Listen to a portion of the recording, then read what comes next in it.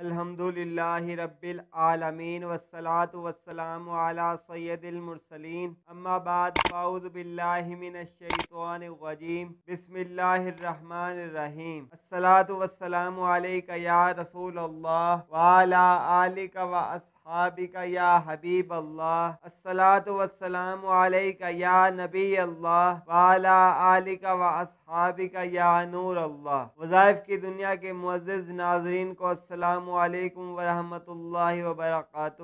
Civil برکت کے لیے درود شریف کی فضیلت سن لیتے ہیں۔ فرمان مصطفیٰ صلی اللہ علیہ وآلہ وسلم، جس نے کتاب میں مجھ پر درود پاک لکھا، تو جب تک میرا نام اس کتاب میں رہے گا، فرشتے اس کے لیے استغفار کرتے رہیں گے۔ صلو علی الحبیب صلی اللہ تعالی علی محمد صلی اللہ علیہ وآلہ وسلم۔ پیارے پیارے اسلامی بھائیوں اور بہنوں، آج کی ویڈیو میں میں آپ کے لیے سات ربیع الاول کا مجرب عمل عرض کروں گا۔ جو کوئی یہ عمل کرے گا تو انشاءاللہ عز و جل وہ کبھی کسی کا محتاج نہیں ہوگا۔ پورا سال رزق کی خوب بارش ہوگی۔ وظیفہ سماعت فرما لیجیے سات ربیع الاول کو، یہ درود شریف صلی اللہ علی النبی الامی صلی اللہ علی النبی الامی، ایک ہزار مرتبہ پڑھیں۔ تو انشاءاللہ عز و جل، جو کوئی یہ درود شریف پڑھے گا، وہ کبھی کسی کا محتاج نہیں ہوگا اور پورا سال رزق کی خوب بارش ہوگی۔ اس کے علاوہ حدیث شریف میں ہے کہ جو شخص روزانہ یہ درود شریف پڑھے گا، وہ اس وقت تک مرے گا نہیں جب تک جنت میں اپنا گھر نہ دیکھ لے۔ صلو علی الحبیب صلی اللہ تعالی تعالی علی محمد صلی اللہ